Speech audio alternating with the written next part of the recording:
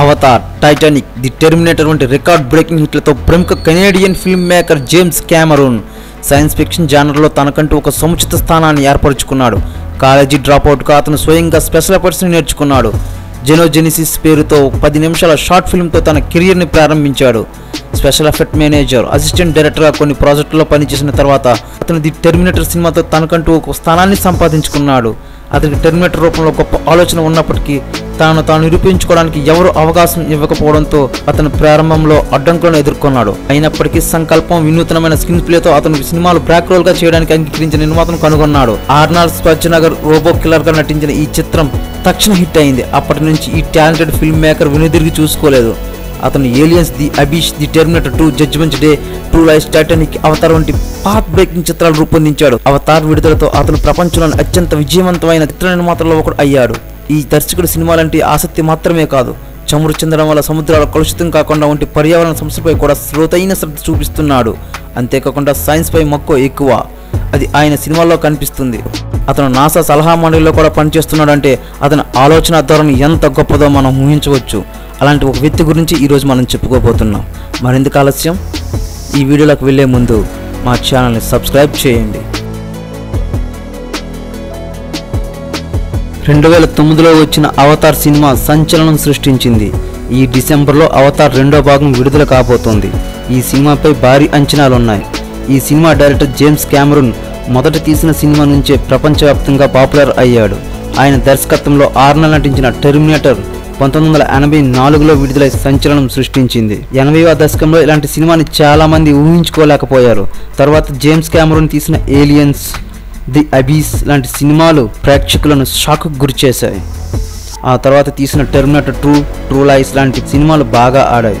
ఆ తర్వాత తీసిన సినిమా టైటానిక్ ఈ సినిమా విడుదలై ఒక సంచలనం సృష్టించింది. సాధారణంగా జేమ్స్ క్యామరూన్ ఒక సినిమాకు ఒక సినిమాకు మధ్య చాలా గ్యాప్ తీసుకుంటాడు. కానీ టైటానిక్ సినిమా విడుదలైన తర్వాత చాలా ఎక్కువ గ్యాప్ తీసుకున్నాడు.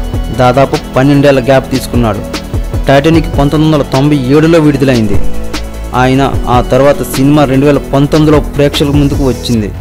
ఆ సినిమా విడుదలైన తర్వాత అంత గ్యాప్ ఎందుకు తీసుకున్నాడో అందరికీ అర్థం అయింది ఎందుకంటే ఆ సినిమాయే అవతార్. రెండు వేల తొమ్మిది డిసెంబర్ పదిహేను పద్దెనిమిదిల మధ్య ప్రపంచవ్యాప్తంగా దాదాపు పద్నాలుగు వేల ఆరు వందల థియేటర్లలో ఈ సినిమా విడుదలైంది. మూడు వేల ఆరు వందల థియేటర్లలో త్రీడీలో విడుదలైంది. నూట అరవై ఐమాక్స్లో ఈ సినిమా విడుదల చేశారు. అవతార్ ప్రపంచవ్యాప్తంగా two point twenty nine billion డాలర్లను వసూలు చేసింది. ఇది విడుదలైన తర్వాత Avatar the way of water ఆ తర్వాత అవతార్ త్రీ అనే మరో రెండు భాగాలు వస్తున్నాయని చెప్పారు. ఇప్పుడు మొత్తంగా నాలుగు భాగాలుగా విడుదల చేస్తామని చెప్తున్నారు. రెండో భాగం ఈ డిసెంబర్లో విడుదల కానుంది. మూడో భాగం రెండు వేల ఇరవై నాలుగు డిసెంబర్ ఇరవై నాలుగో భాగం రెండు వేల ఇరవై ఆరు డిసెంబర్ పద్దెనిమిది విడుదల అవుతుందని చెప్పారు. Avatar the way of water రెండు వేల పద్నాలుగులో విడుదల అవ్వవలసి ఉంది. కానీ నీటి అడుగున నటీనటులతో షూటింగ్ కారణంగా ప్రాజెక్టులో జరిగిన జాప్యం కారణంగా ఇన్నాళ్ళకి విడుదల కాక సిద్ధమైంది. దాదాపు రెండు వందల యాభై మిలియన్ డాలర్లతో ఈ సినిమా నిర్మించారు. సూపర్ డూపర్ హిట్ అవుతుందని కానీ ఎక్కువ భాగం నీటిలో ఉన్నందున ఈ సినిమా విడుదలకు ఆలస్యం అయిందని భావిస్తున్నారు. జేమ్స్ క్యామరూన్ ఇప్పుడు తన సినిమాలో ప్రకృతికి మనుషులకి మధ్య సంబంధాన్ని గురించి ఎక్కువగా సినిమాలు తీస్తాడు.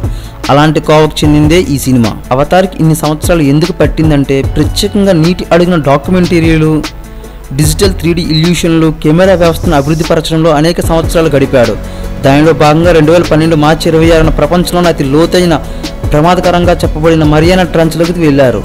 అక్కడ పరిస్థితులను పరిశీలించి సినిమాకు అనువుగా ఎలా మలుచుకున్నారో ఆ సినిమాలో మూడు గంటల పాటు మనం చూడాల్సి ఉంటుంది. రెండు వేల పన్నెండు నాటికి క్యామరూన్ మరియు అతని కుటుంబీకులు శాకాహారాన్ని స్వీకరించారు. తద్వారా మీరు తినేదాన్ని మార్చడం ద్వారా మీరు మానవ జాతులను మరియు సహజ ప్రపంచం మధ్య ఉన్న మొత్తం ఒప్పందాన్ని మారుస్తారు అని కెమెరాన్ అన్నారు. ఇందులో భాగంగానే కెమెరాన్ భార్య మూసీ స్కూల్ను స్థాపించింది. ఇది యునైటెడ్ స్టేట్స్లో మొదటి కే ట్వెల్వ్ శాకాహార పాఠశాలగా మారింది. అతను గ్లోబల్ గ్రీన్ యుఎస్ఏ కోసం కార్యక్రమాలు నిర్వహించాడు మరియు శక్తి వినియోగానికి స్థిరమైన పరిష్కారాల కోసం ముందుకొచ్చాడు. రెండు వేల ఇరవై రెండు నాటికి ప్రపంచంలోని గొప్ప శాకాహార వనంలో ఉన్న వెయ్యి మంది సభ్యులలో కెమెరాన్ ఒకరుగా గుర్తింపు పొందారు. జేమ్స్ కెమెరాన్ యొక్క చలనచిత్రాలు తరచుగా ఇతరుత్వాలపై ఆధారపడి ఉంటాయి. ఇవి తెలివైన యంత్రాలు మరియు మానవత్వం మధ్య ప్రకృతికి ముడిపడి ఉంటాయి. బలమైన స్త్రీ పాత్రలు మరియు శృంగార ఉపకథలు ఉంటాయి. కెమెరాన్ ది ట్యాక్స్కి ఇచ్చిన ఇంటర్వ్యూలో నా సినిమాలన్నీ ప్రేమ కథలే అని పేర్కొన్నాడు. ఈ వీడియో కనుక మీకు నచ్చినట్లయితే లైక్ చేయండి షేర్ చేయండి. ఇలాంటి మరిన్ని వీడియోల కోసం మా ఛానల్ని సబ్స్క్రైబ్ చేయండి.